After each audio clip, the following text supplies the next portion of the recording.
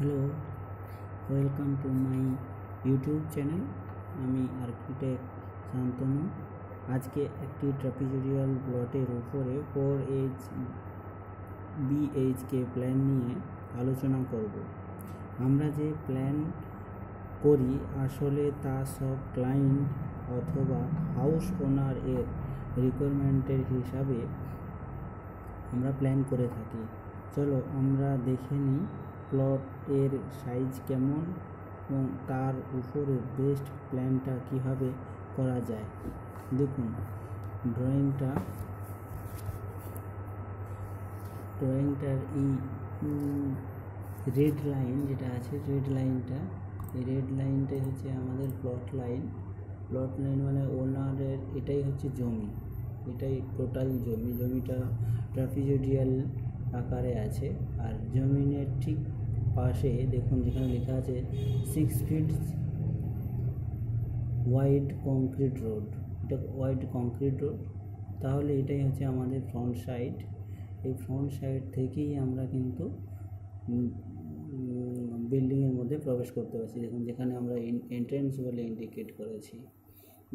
আর আমরা যে এই সবুজ কালার রঙটা দেখছি, এটা হচ্ছে আমাদের বিল্ট আপ এরিয়া বা বিল্ডিং লাইন আচ্ছা আমরা প্লেনে যাওয়ার আলোচনা করার আগে আমরা সবাই আমার ইউটিউব চ্যানেলটাকে সাবস্ক্রাইব করুন লাইক দিন।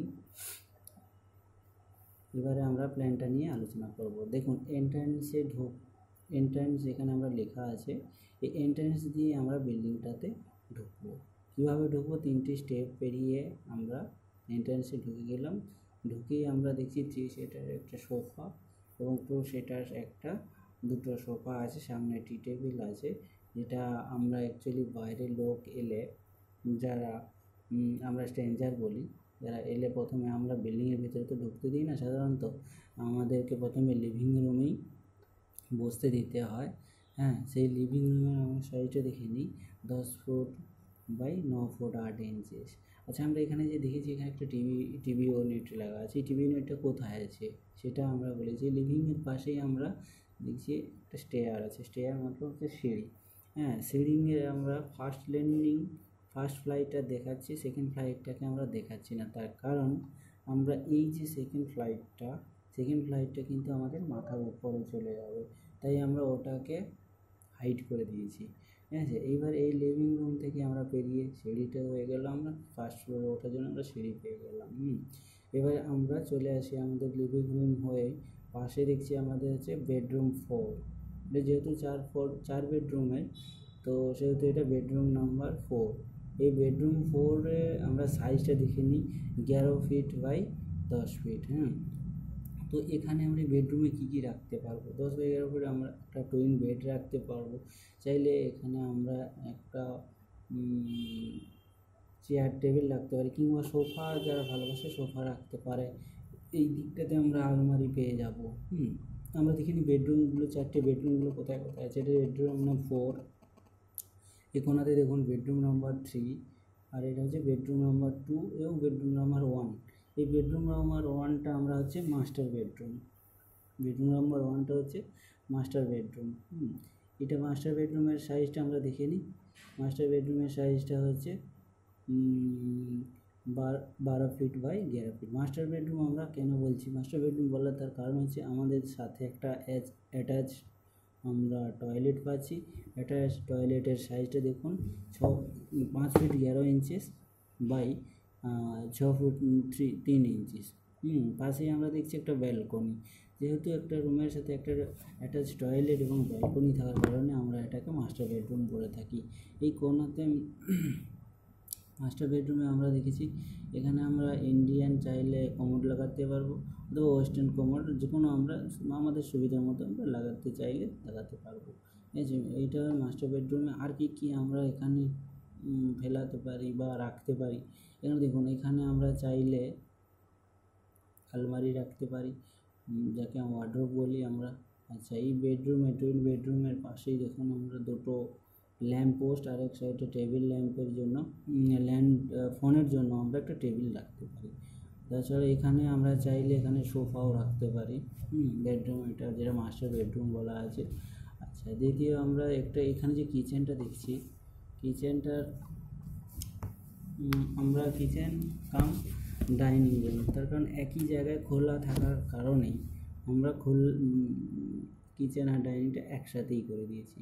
হ্যাঁ কিচেন কাম ডাইনিং রুম যে সাইজটা কিন্তু খুব বড়ো সাইজ আছে, তেরো ফিট নয় ইঞ্চি বাই চোদ্দ ফিট নয় ইঞ্চি এইবারে আমরা চোদ্দ ফিট নয় ইঞ্চি দেখে নিলাম ডাইনিং প্লেসটা তো খুব বড়োই আছে। হ্যাঁ এবারে বেডরুম নাম্বার টুতে এসেছে বেডরুম টুতে আমাদের সাইজ এগারো ফিট বাই দশ ফিট এখানেও আমরা এখানেও আমরা চাইলে ওয়ার্ড্রপ তো থাকছেই আমাদের সাথে, একটা সোফাও ফেলাতে পারি হ্যাঁ আরেকটা বেডরুম নাম্বার থ্রিতে এসেছে। বেডরুম নাম্বার থ্রির সাইজ হচ্ছে এগারো ফিট বাই দশ ফিট পাঁচ ইঞ্চি এর সাথে আমরা আরেকটা অ্যাটাচ টয়লেট দিয়ে দিয়েছি। হুম অ্যাটাচ টয়লেটটা দিয়ে দিয়েছি। অ্যাটাচ টয়লেটের সাইজটা দিয়ে সাইজটা দেখুন, সাত ফিট তিন ইঞ্চি বাই চার ফিট হ্যাঁ এখানে আমরা অ্যাটাচ যেহেতু দিয়েছি, এখানে আমরা ওয়েস্টার্ন কমোডি রাখব, সাথে বাথরুমও থাকবে। হুম আচ্ছা এবারে আমরা চলে আসি। এখানে যে ডাইনিং দেওয়া আছে ডাইনিংয়ে আমরা সাধারণত খাওয়া দাওয়ার পরে হাত ওয়াশ ওয়াশ করার জন্য আমরা এখানে একটা বেসিনও দিয়ে দিয়েছি। এখানে আমরা কিচেন আর এটা আমরা হচ্ছে ডাইনিং টেবিল ডাইনিং টেবিলটা ছজনের জন্য আমরা ডাইনিং টেবিল রেখেছি।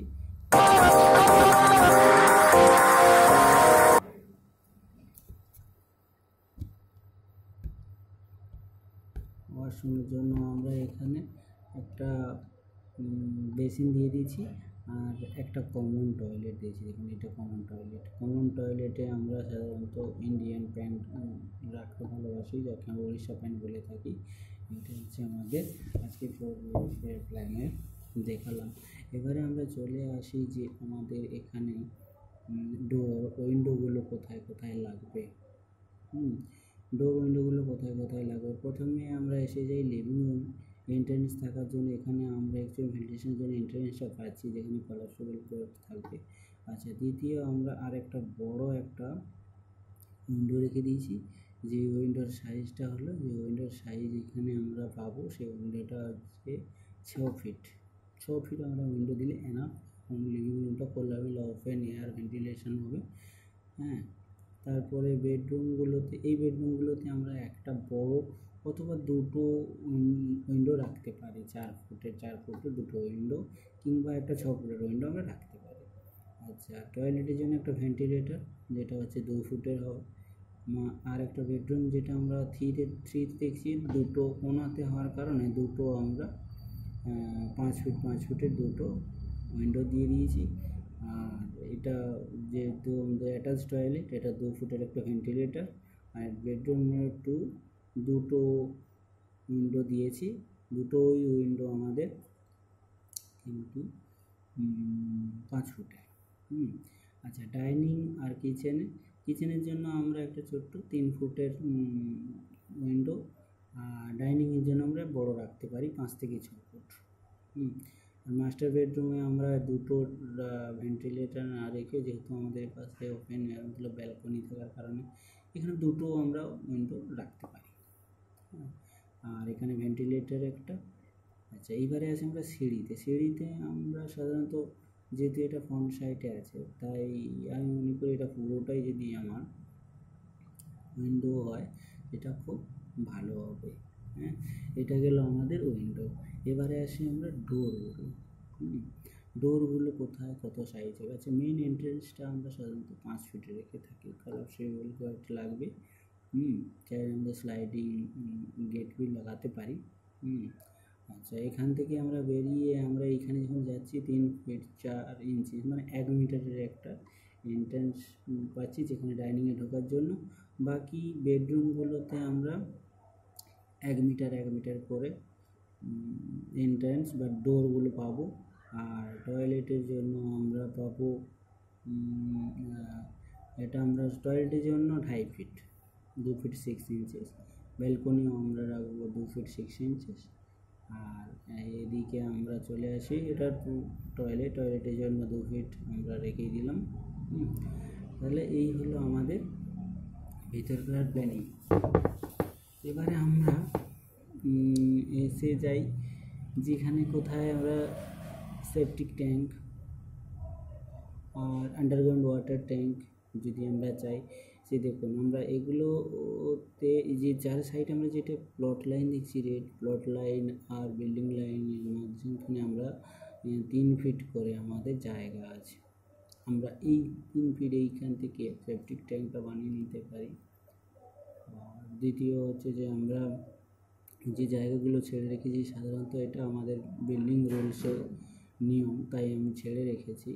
আর এগুলো আমাদের পঞ্চায়েত অফিসে খুব জরুরি, হুম? তাছাড়া আমাদের আরেকটা জিনিস যে কাজ করার ক্ষেত্রে আমরা অন্যের জমিনে না গিয়ে আমরা নিজেদের জমিনে কাজ করতে পারব। তার জন্যই আমরা কিন্তু ইয়ে চারদিকে পেরিফেরিটা ছেড়ে রেখে দিয়েছি, হুম? কালার করার সুবিধার্থে প্লাস্টার করার সুবিধার্থে আমরা এগুলো ছেড়ে রেখেছি।